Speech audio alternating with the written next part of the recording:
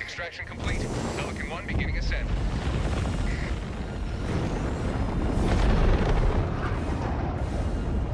Victory was never in